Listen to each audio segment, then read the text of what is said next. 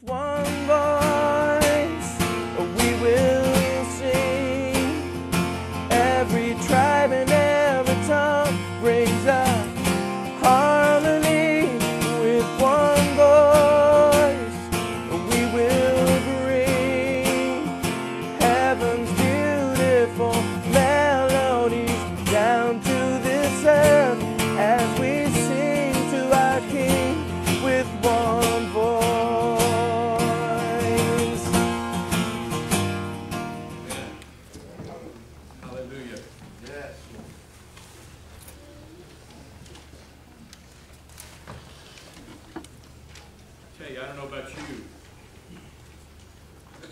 get in the presence of God. Get in the midst of worship. You don't want it to end. You don't want it to end.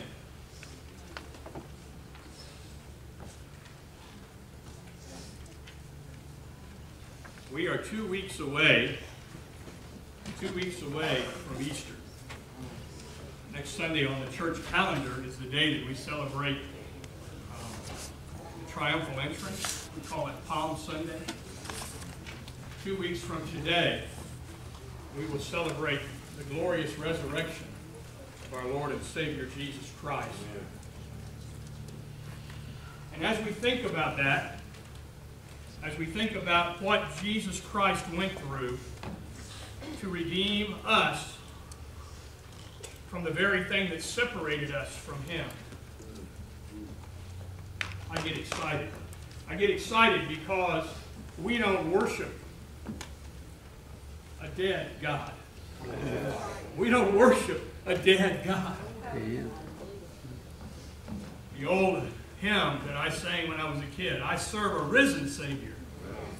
He walks with me and talks with me. He is alive. He is alive.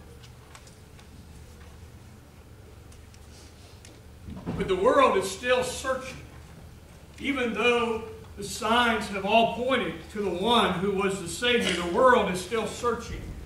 And we see this manifested in lots of different ways throughout our world. We see it in people who are acting out, who are reaching out through various kinds of addictions, trying to find the answers to life's big questions.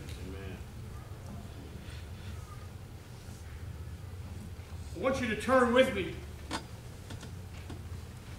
to the book of 1 Corinthians, Paul's letter, first letter to the church at Corinth, chapter 1, verses 22 through 25.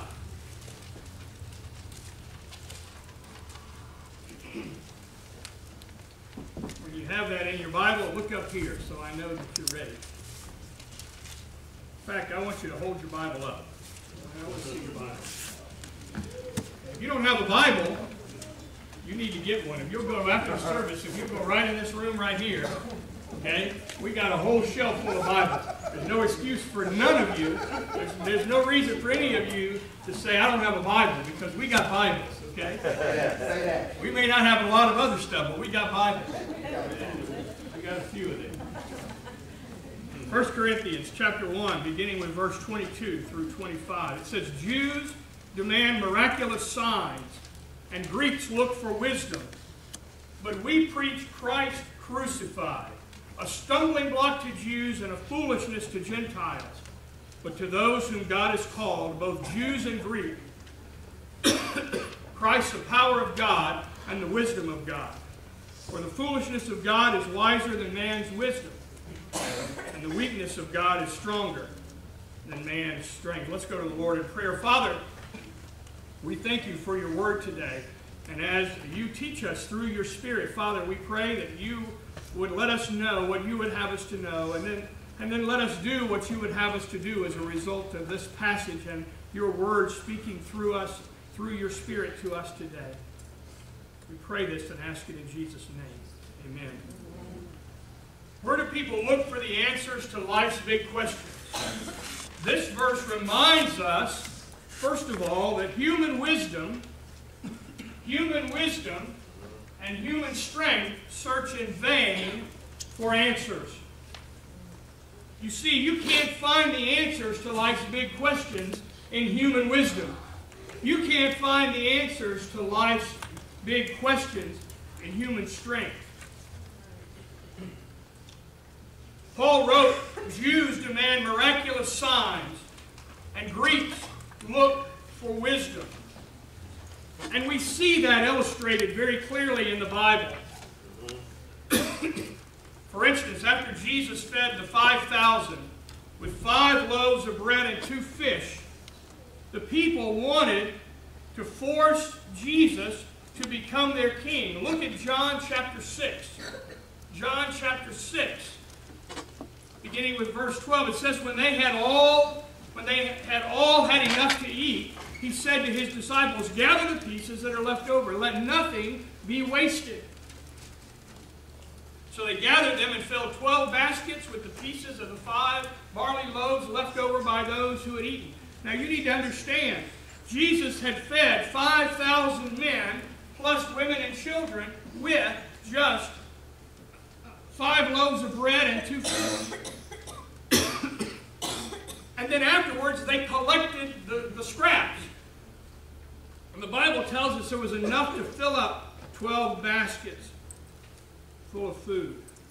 And look at what happened after that. After the people saw the miraculous sign that Jesus did, they began to say, Surely this is the prophet who is coming to the world. Jesus, knowing that they intended to come and make him king by force, withdrew again to a mountain by himself. They wanted to use Jesus to satisfy their desires and their appetites. Why? Why did they want to do that? Look at the miraculous sign he had done. He had fed all of these people with just five loaves and two fish. If he can do that, then he can take care of our needs for the rest of our life. We want to make him the king. Here's the one that we've been waiting for. You have to understand, you have to understand the context of this, and that is these were a group of people who were under the heavy boot of the Roman Empire. I don't know that they wore boots back then, maybe the sandal. The heavy sandal of the Roman Empire. But the foot of Rome was on their neck. And they saw one who had great power. One who had great power to do miraculous things. And in their human wisdom and understanding, they wanted to make Jesus their king. We want to make Jesus our king, but it's not because he can feed people with a few loaves and fishes. It's because he is the king. He is the king, and he is the Lord and Lord of lords. But they wanted, they figured they would, that he would be the answer to life's big questions. There's another example for Greeks looking for wisdom. Paul made his way as part of his missionary journeys to Athens. Athens was a famous city for wisdom. Here was, this was the, the, the geographical center, if you will, for enlightened thinking.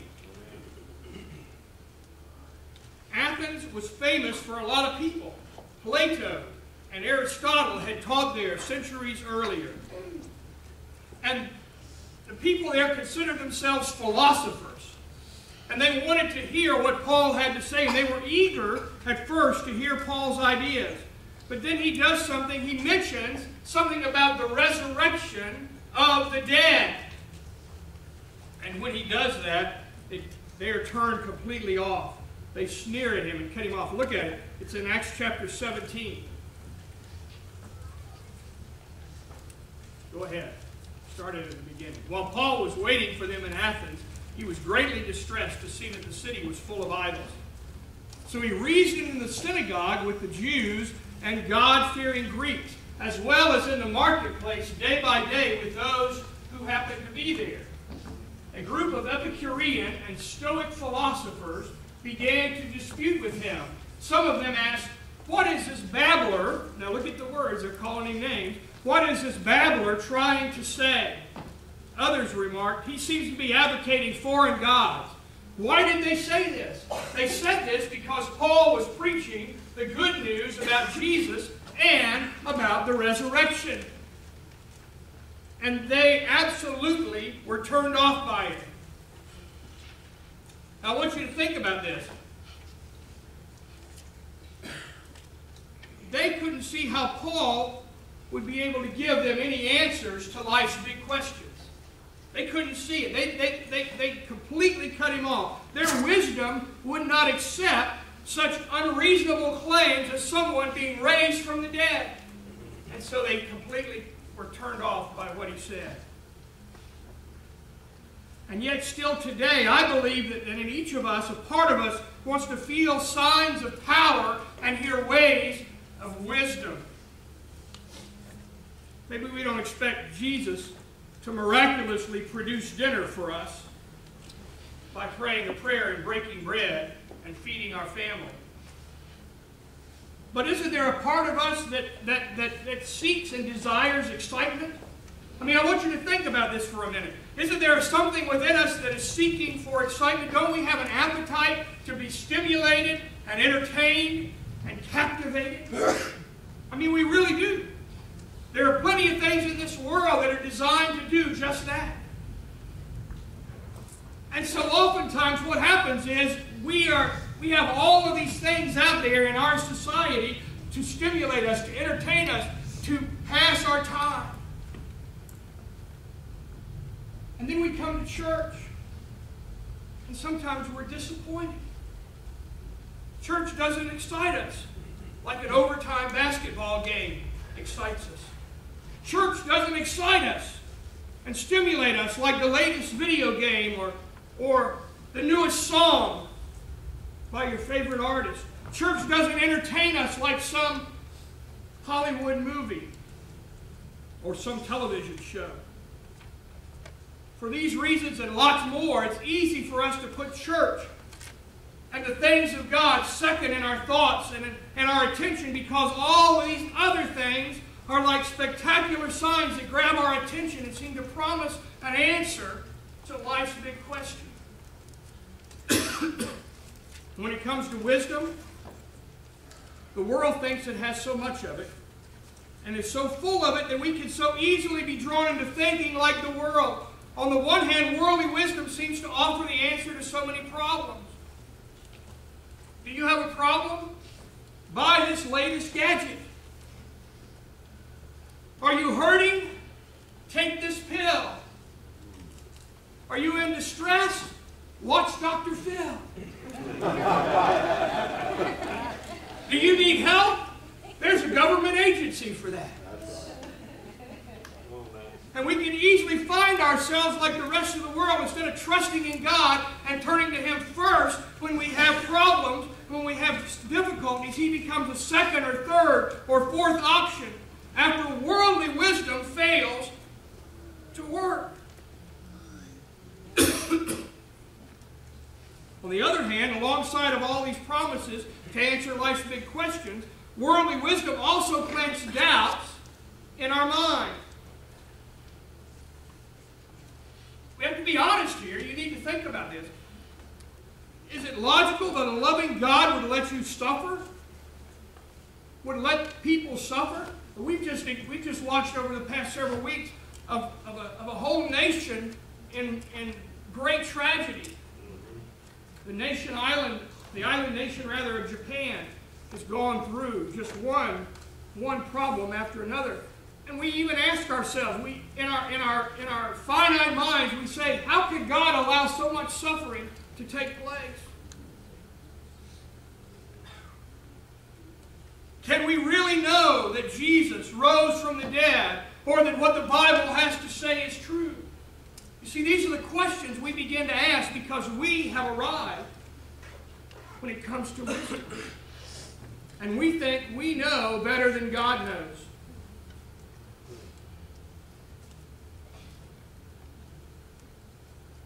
And so then we say maybe there aren't any answers to life's big questions. But just as in Paul's day, you and I have to face the temptation to ignore God's answers to life's big questions. For you see, God's answer doesn't sound powerful or wise. God's answer doesn't sound like the end all to be all for the world's problems. It sounds weak and it sounds foolish. And one of the reasons that it sounds weak and foolish is because we don't know what life's big question is. We think we know, but we don't know until God reveals it to us. My second point here is that Easter reveals God's answer to life's big question. But before we can see how Easter reveals God's answer, we need to be clear on what the big question in life is. So often we think the big question is something like this How can I get the most out of life? How can I find inner peace? How can I feel good about myself? How can I make life fair for me? How can I make sure others like me? How can I ensure that I'll be remembered after I pass away? How can I feel closer to God? You see, the problem is, is that we're asking the wrong questions. None of these questions will acknowledge God's answer as the right one. And you know why that is? It's because every one of these questions focuses on our wisdom and power. How can I? How can I? How can I feel good about myself? How can I get the most out of life? How can I make life fair for me? You see, the real question not, doesn't begin with how can I? The real question is how can or how has God? How has God? The real question begins with how has God? How has God brought me close to Him? How has God saved me? That question doesn't come naturally to us because that, that question assumes that we're lost and we're in need of being saved. it assumes that we don't have any power and wisdom to save ourselves. And so before God answers life's big question for us, he has to crush our pride and he has to crush our ego so we can discover the right answer. You see, God is not simply demanding outward obedience. God is not simply demanding outward obedience. He's also demanding perfect inner obedience as well. What do you mean by that, Pastor? Let me tell you what I mean by that. He demands our total love and trust in Him as the one and only God. See, that's an inner obedience. That's what's happening inside of you. He demands that His name be continually in our hearts and on our lips as we go about our daily life. He demands that we never neglect His Word. He demands that we spend time in prayer. He demands that we share the gospel as we live our lives. He demands that we help those in need and that we defend those whom others are attempting to tear down. And he forbids lust and greed and covetousness and all other evil desires. You see, the truth is, is that we have failed. We have failed. We have no power to come to God. We have no wisdom to know the way. We sit in, in the dust and ashes of our own worthly works, worthless works, rather, mm-hmm. worldly works, worthless works. It's ridiculous to ask, how can I bring myself closer to God? That's a dumb question. Rather, ask the true big question in life what has God done to bring me closer to Him?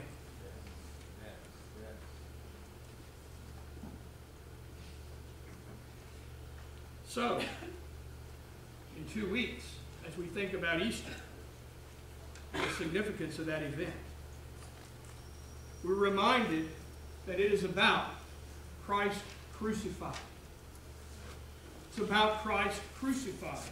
Or as Paul put it, we preach, we preach Christ crucified. Put that verse up there, And we preach Christ crucified, a stumbling block to Jews and foolishness to Gentiles. But to those whom God has called, both Jews and Greeks, Christ, the power of God and the wisdom of God. For the foolishness of God is wiser than man's wisdom, and the weakness of God is stronger than man's strength. What did Paul say? He said, when we came, we didn't come with flowery words, but we preached Christ crucified. Christ crucified.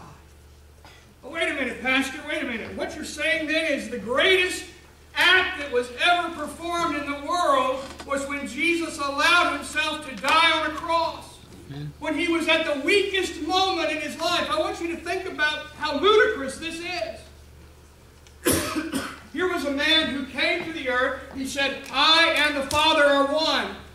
Here was a man who came to earth and said, if you see me doing something, it's, it's only because I'm only doing what I see my Father do. Because I am the Father. The Father and I are one. And then he got arrested.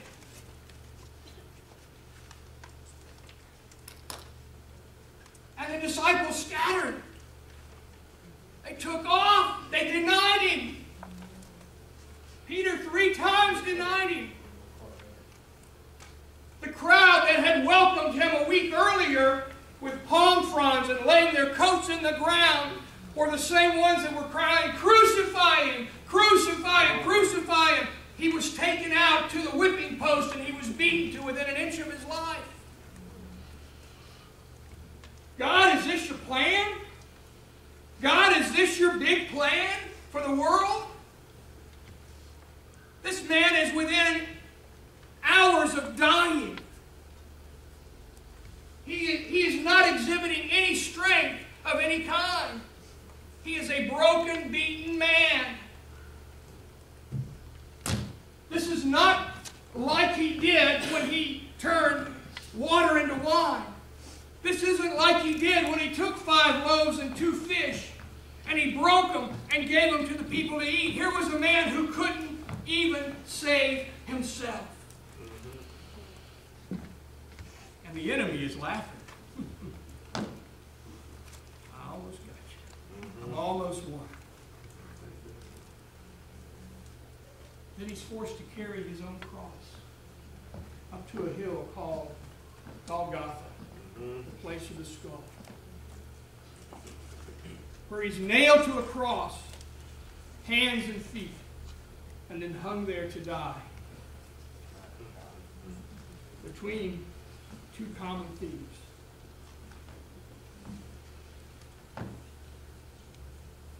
Where is the strength? Where is the power? Where is the wisdom? Christ crucified. The answer to all of your questions. What? What? Can God be any more foolish than that? You want to know the answer to your questions? Christ crucified. what? You see, it appeared to be a foolish thing for God to sacrifice his son for sinners. But what wisdom? What wisdom? For on the cross, God punished his one and only Son in our place for our sins. And through that act of mercy and grace, he freely forgives us while at the same time remaining just since our guilt had to be punished, and it was punished through Jesus Christ. Christ crucified, the payment for your sins and for my sins. Christ crucified, it appears to be such a weak thing, but what power! For by the cross, Jesus crushed Satan's head and freed us from sin's captivity. And he broke the chains of death. Yes, yes, say that. Because on Friday, dead on Sunday alive. Hallelujah. Hallelujah. You see, Christ crucified appeared to be weak and foolish. but God reveals the reality of it to us. Christ crucified is the answer to all of life's questions. And there's something that we need, and we're, that's something that we need and we're going to grow spiritually. Christ crucified is the answer to those questions. How do I get the most out of life? Christ crucified. How do I find happiness and fairness? Christ crucified. How do I find enlightenment and fulfillment? It's in Christ crucified. How do I cope with pain and suffering or whatever other questions come up? It's because of Christ crucified. So often we don't see that, and so we fail to see that Christ crucified is the answer to all of those questions as well. That's why we need to keep on growing in our faith. Our worship is not designed to entertain. If you're looking for entertainment, there's lots of other venues out there. But it is designed to bring you Christ crucified. Yes. That's the real answer to life's big question. Keep on coming. On worshiping every week so that you can continue to see how Christ crucified is your answer. Just because we struggle in understanding all that the Bible has to say, that doesn't make it foolish. Come on now. It that. doesn't make it foolish. Keep on reading your Bible every day and seeing Christ crucified as God answers all of your questions Yes. through His Word. Easter, Christ crucified, lives, answers life's big question because it points us to the cross of Christ. Eastern religions, modern wisdom, powerful sensations fail miserably. When the glory of the Easter season ends, we'll have the absolute guarantee that Christ crucified is the answer because Christ is alive. Christ is risen. And he keeps leading us through the big questions that you face in life because Christ died in your place. Hallelujah. Let's go to the Lord in prayer. Father, we thank you for your word today. Father, we thank you for Christ crucified. For Father, it's there that we find hope. It's at the foot of the cross, Father, that we find peace. It's at the foot of the cross, Father, that we find acceptance. Even though we have sinned and even though we have failed you so miserably, through Jesus Christ, through the, the seeming weakness and agony that he went through, Father, your greatest work, your most powerful act, accomplished for us something that we could never do for ourselves. We thank you for Christ crucified. We thank you because you have given to us a reason to continue on. You have given to us a reason for hope and a reason for joy and a reason to work.